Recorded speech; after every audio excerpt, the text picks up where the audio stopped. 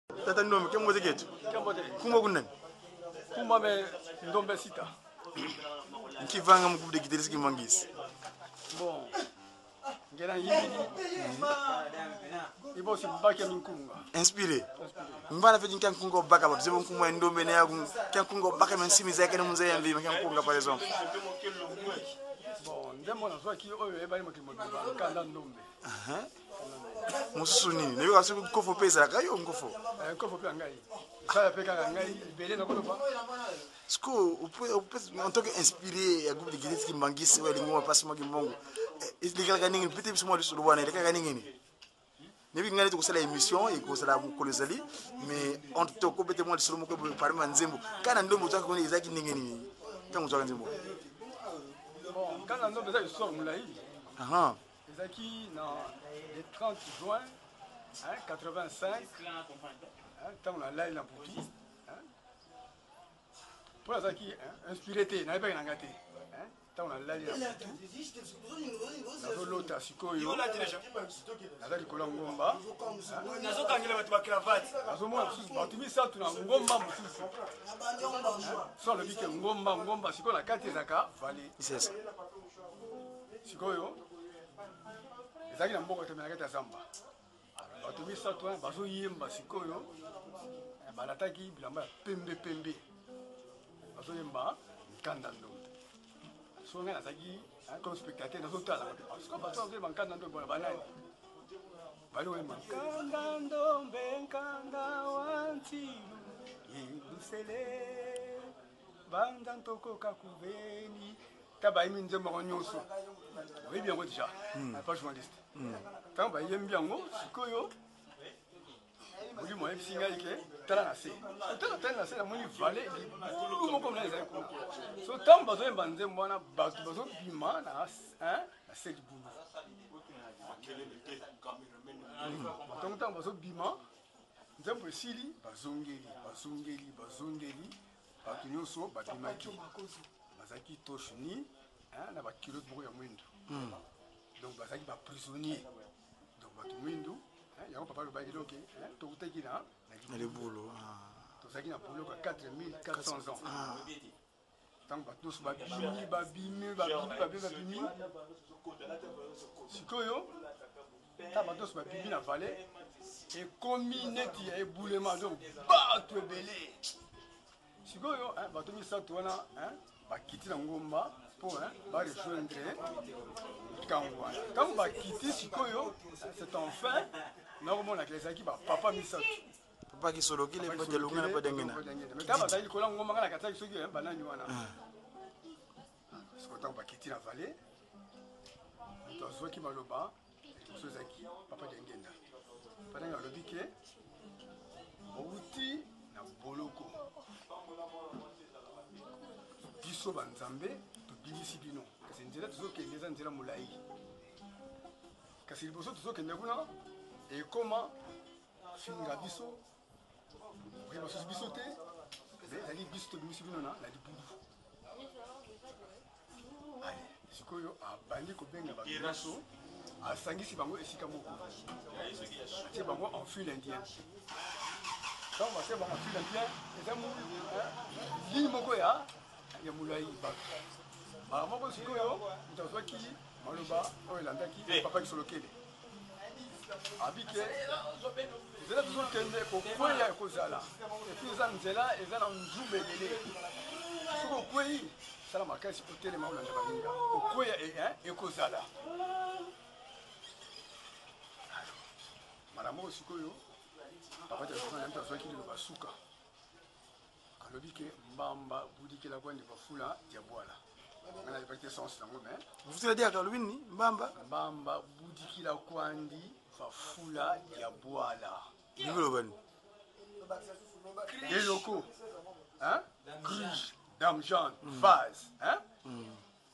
Omoni hein? hein? Ba mboka ezalaka hein? Tozwaka ba mai na na hein? Na se. Ngeta. Hein? Hmm. Tango ozwi mai na na rivière, hmm. hein? Il faut mata ngomba te. ozomata ata ozomata ngomba ntango okomi na mboka yango oyo osali erene libaku hmm. mai nyonso ekosala mosala ya punda mais outi nango mosika kuna nzela mpasi otamboli ntango okomi na mboka epasuki ntango alobi loba wana Ati sikoyo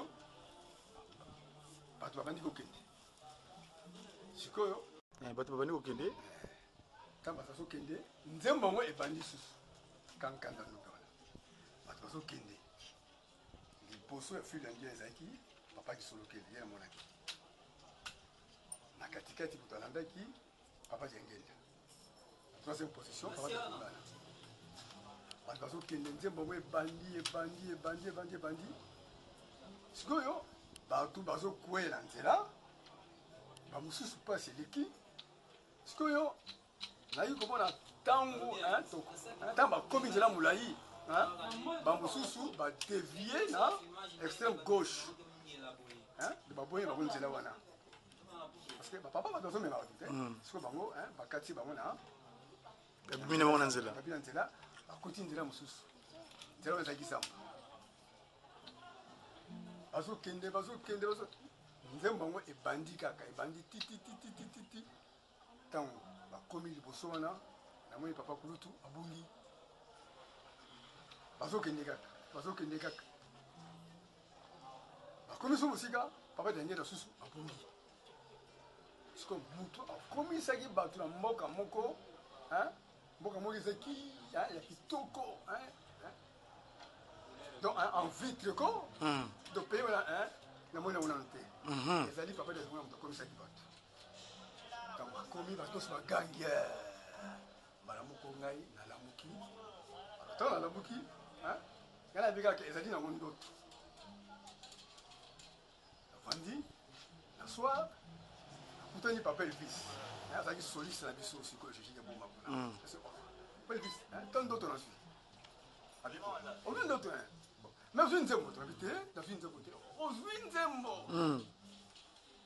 Gabi te nazwi nzembo tika zala nzembo te Gabi te ozwi nzembo alors sikoyo balibisa impose toyekola nzembo wana ntango toyekoli nzembo wana sikoyo tobeti yango na boma ntango tobeti yango hmm. epesi critique babike nzembo wana ezali nzembo ya kofonde eh, na kati eh, ntango wana pa richard mpe dijon na biso eh, aza wana ah.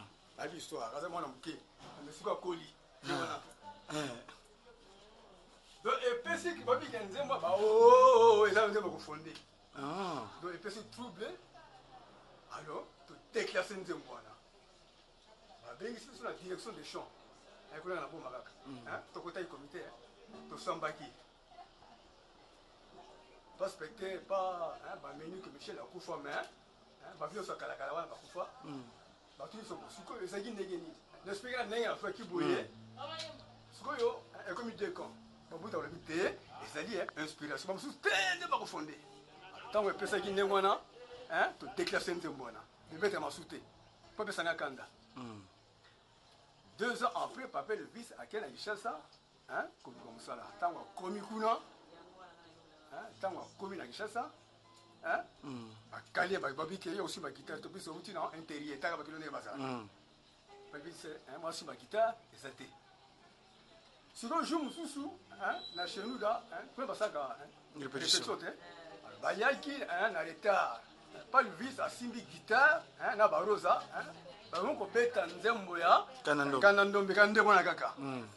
soki bango ntango baye bamoni mpa biso tobeta bacor moko eza bablues bajazz ndenge wana mpo bakino ntango wana babetaka typique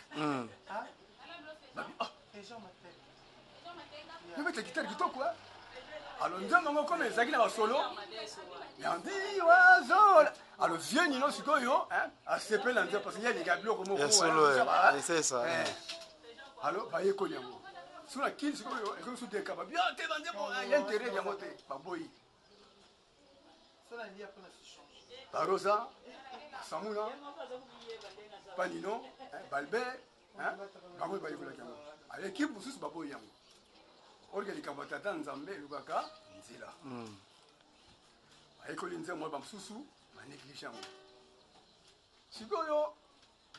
Une annee après, Papa Diangenda hein, azobima te na ndako.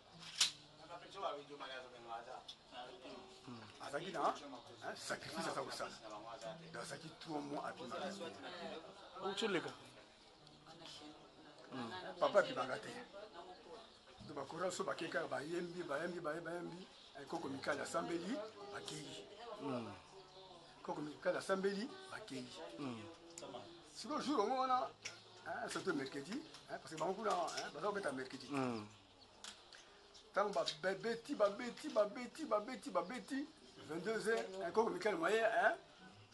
aside bango bakende eza te baza konte kobeta bakomi 0 heure beti 0 heure koko mikele moye asambela eza te parce que baokende te soki koko apesi libondeli ya suka te sikoyo eh, koko mikala sikoyo koko mikala moye asambela eza te répertoire ya banzembo nyonso esili sotisol tokosala ndenge nini tozongela susu kaka banzembo oyo toyembi obi yo te soki vieni lobi te tobetela nzembo oyo eutaki na boma hmm. babiso oh, te nzembo wana te te tobeta mosusu baklasse sikoyo nkanda ndongo ntango babandi pampampampampampampampa ntango nzembo esili Mais ba chantier mususu ba mona kaka hein pa off malopa dengenda afongoli rideau. Une heure du matin. Afongoli rideau. Atindi hein pa bobe. Abi ke bazongela nzembo oyo bayimbi wana oyo ezoloba makambo ya motu mwindu message eye babeti yango mosusu ntango bazobeta yango bamonaka kiti protocole abimisi kiti Jojo ki bazo yemba boye kiti ba ye wana papa zo ta bango boye. Nzembo esili papa lobi ke ozongela su nzembo wana ngo. Siko hein eh, ekomi eh, eh, qu'est-ce que c'est? Hmm. Est-ce que nzembo ya mabe papa zo senga? Obien nzembo ya ya malamu. Ya malamu. Babeti en sous troisième tour ntango esili siko papa na to moko abi nino nzembo ekuti wapi eza problème o papa nzembo euti na boma nano tozi nzembo babi te tala papel vis kuta kuta na boma etaki nango babengi papel vis yo tozangi nzembo te eh, papa ngai te me aza ndeko eh, ya boma komonela ye okomena ndombo aye babetango lisusu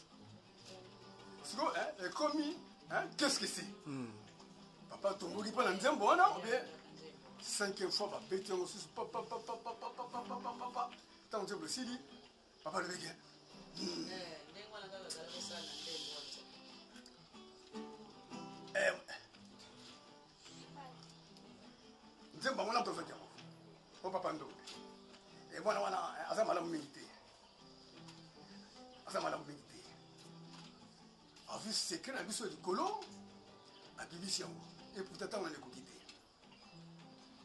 secret toyelaki mpo na motu mingi alibo betango lisusu ntango babeti yango papa alobi ke eh, bobimisika na ndako jujeki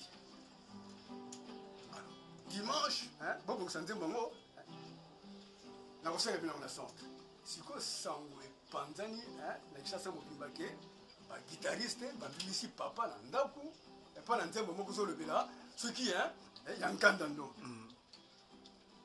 donc papa journaliste bato batonda na centre mpona hein, kozela kaka nzembo nini wana bajejiki oyo ya mokili mobimba babimisi papa na ndako ntango wana bajejiki toza koyembaka ndenge bakuna bayembaka te bato bati na place bango hmm. siko ntango bapesi papa honneur papa olobika ye bagitanisi boye awa mo systeme ekomaki sikoyo kobimana ah, ebandaki wana ebandaki wana sikoyo ntango bapimi sikoyo vieux nino mpe alobi bon bato baboyaki nzembo wana bakoyemba te sikoyo eh, nanko eyembamaka nanko donc yaka six personnes babimi na bango bagange na babibi liboso wana ale bobetanga nzembo wana papa batuta nzembo wana siko ntango batuti nzembo wana siko papa azo decortike nzembo donc ntango bazoyemba papa siko ozoloba ke yo motu mwindu nzambe motu alingaki ndenge wana mm. ke osufi mm. twa kare na yo eya na suka bamindele basepela nano wasisilindo ya mvumi na muntiankulu donc nzambe hein? omoni ntiankulu hein? Mm. ezali jérusalem ya kala donc atiki jérusalem ya kala vide donc hein? kimvuama nyonso hein? bomengo nyonso ayaki nango na afrike akosangisa biso esika moko eza suta ke ono oh yo kuna libota boye yo boye biso nyonso tokóma libota moko donk eh, peuple kimbangiste papa pasoli titititititi kanda ndombe ekomi diske lor ekomi kaka na ngibolika eh, kanda ndombe